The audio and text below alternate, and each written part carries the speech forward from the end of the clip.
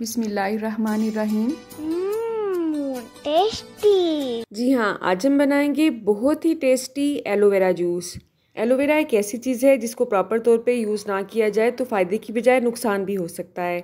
इसे अप्लाइंग से पहले या खाने में ऐड करने से पहले आपने किन बातों का ख्याल रखना है?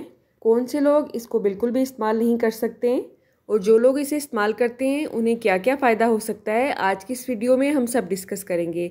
तो चलें, आज की इस रेसिपी का आगाज़, इस दुआ के साथ करते हैं कि आप सबका दस्तखान सजाए रखे और हम सबको सेहत और ईमान का रिस्क रिस्कता फरमाए। जी तो सबसे पहला पॉइंट आपने एलोवेरा को इस्तेमाल करने से पहले उसे एक से डेढ़ घंटे के लिए आपने छोड़ देना है और उसकी पोजीशन ऐसे रखनी है कि इसकी जो जेल है, ये आसानी से निकल जाए। आप देख सकते हैं, इसका ये जो येलो पार्ट है, ये निकल जाना चाहिए। ये बहुत ही डेंजरस होता है हमारी हेल्थ के लिए भी, अगर आप इसे स्किन पे भी अप्लाई करेंगे तो इससे आपको इरीटेशन होगी। तो ये मैंने रात को काटे थे, हमारे घर में ही लगे हुए हैं। और पूरी रात के लिए मैंने इस तरह इसे प्लेट में छोड़ दिया था। तमाम येलो पार्ट इसका निकल चुका है, जो भी इसका जहरीला मवाद था, वो इससे रिमूव हो चुका है, ठीक है? तो अगर आपने इसे इस्तेमाल करना है, आपके पास ज़्यादा टाइम नहीं है तो कम अज़ कम आपने डेढ़ से दो घंटे के लिए आपने इसे ज़रूर छोड़ना है। ये पुदीने के पत्ते हैं मुठ्ठी भर लिए हैं, ये भी हमारे घर में ही लगे हैं। बहुत ही आसानी के साथ आप इसे गमले में ग्रो कर सकते हैं, इसमें कोई इशू नहीं होता है। तो इन दोनों चीज़ों को अच्छी तरह से हम वॉश कर लेंगे। उसके बाद हम एलोवेरा की कटिंग करेंगे। ये जो इसका फ्रंट पार्ट है, जहाँ से येलो मवाद जो है रिमूव हुआ है, इसे हमने काट देना है। ये हमारे किसी काम का नहीं है। इसके साइड वाले जो कॉर्नर हैं, जहाँ पे कांटे लगे होते हैं, उसे भी हम रिमूव कर लेंगे, ठीक है? तो दोनों साइडों से हमने इसके कांटे रिमूव कर लेने हैं। कांटे रिमूव करने के बाद ये जो ऊपर वाला पार्ट है, ये बहुत ही आसानी के साथ रिमूव हो जाता है। उसके बाद इसकी जेल नज़र आनी शुरू हो जाती है। इसे आप छुरी की मदद से या चम्मच की मदद से आसानी के साथ रिमूव कर सकते हैं। अगर आप एलोवेरा को खाने में इस्तेमाल कर रहे हैं तो आपकी कोशिश होनी चाहिए कि एलोवेरा का पौधा कम अज़ कम दो साल पुराना होना चाहिए तो उसमें बहुत ज़्यादा गजाइत होती है। अगर ऐसा नहीं है तो कोई इशू नहीं है। बस आपने एहतियात ये करनी है कि किसी एज का भी एलोवेरा हो, जब आपने इसका लीफ काटना है तो कम अज़ कम एक से डेढ़ घंटे के लिए उसे छोड़ देना है, ठीक है? तो ये एलोवेरा जेल हमने निकाली है इसमें से। अब हमने एक ब्लेंडर जग लेना है, उसमें हम ये ऐड कर देंगे। तकरीबन ये दो बड़े खाने के चम्मच हैं और इससे मैं दो गिलास जूस बनाऊँगी, ठीक है? पुदीने के पत्ते भी हम इसमें ऐड कर देंगे। अगर आप में से किसी को डायरिया का इशू है तो पुदीने के पत्ते तो उसके लिए बहुत फ़ायदेमंद हैं, लेकिन एलोवेरा उसके लिए अच्छा नहीं है। एक लेमन जूस ऐड करेंगे। तो मैं बात कर रही थी डायरिया की। अगर आपको डायरिया है तो आपने एलोवेरा को इस्तेमाल नहीं करना है, ठीक है?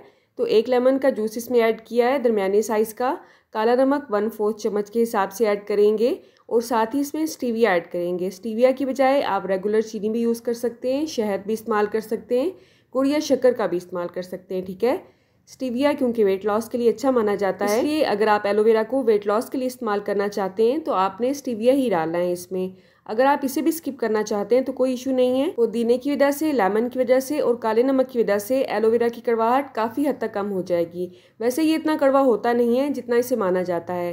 तो इसे मज़ीद रिफ़्रेशिंग बनाने के लिए हमने इसमें आइस क्यूब्स ऐड किए हैं। पानी फ़िलहाल हम इसमें थोड़ा सा ऐड करेंगे और इसे अच्छी तरह से शेक करने के बाद जो मज़ीद पानी है, बाद में हम इसमें ऐड करेंगे। आइस क्यूब्स की वजह से आप देख सकते हैं किस तरह इसमें स्लशी सा इफ़ेक्ट आया है। हमने इसमें बहुत ज़्यादा आइस क्यूब्स ऐड नहीं किए थे, इसलिए पानी ऐड करते ही ये तमाम बर्फ़ अच्छी तरह से मेल्ट हो जाएगी। हमने इसमें बहुत ज़्यादा एलोवेरा जेल ऐड नहीं किया, इसलिए आप देख सकते हैं इसमें एलोवेरा की कोई भी लेस आपको नज़र नहीं आ रही है और ना ही पीने के बाद आपको महसूस होगी। गिलास पे इस तरह से अगर आप लेमन स्लाइस को लगाएँगे तो सर्विंग के वक्त ये बहुत ही खूबसूरत लगता है। इसका ये ग्रीन कलर पुदीने की वजह से है। अगर आप इसमें पुदीना स्किप करना चाहते हैं तो वो भी कर सकते हैं। लेकिन अगर आप इसमें पुदीना ऐड करेंगे तो इसका टेस्ट आपको बिल्कुल मिंट मार्गरीटा जैसा ही लगेगा। यहाँ पे मैंने चिया सीड को थोड़ी देर पहले ही पानी में भिगो के रखा है इसलिए ये अच्छी तरह से फूले नहीं हैं।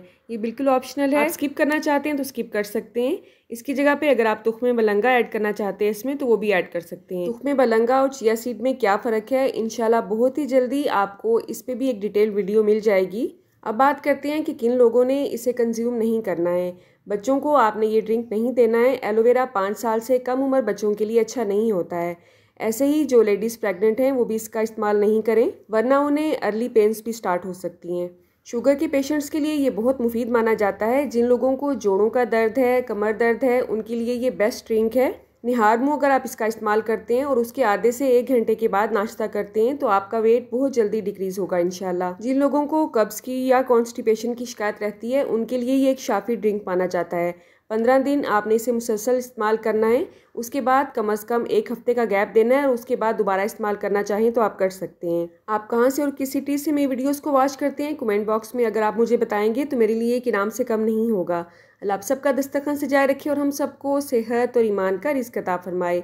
अल्लाह हम सब के रिस्क में कसरत से ज़्यादा बरकत और आसानी अता फरमाए। रुके रुके सुने जाने से पहले वीडियो को लाइक कर दें अच्छी लगी तो शेयर कर दें और सब्सक्राइब करने के बाद बेल का आइकन भी ज़रूर प्रेस करें। जजाकल्ला मेरी नेक्स्ट वीडियो तक अल्लाह हाफिज़।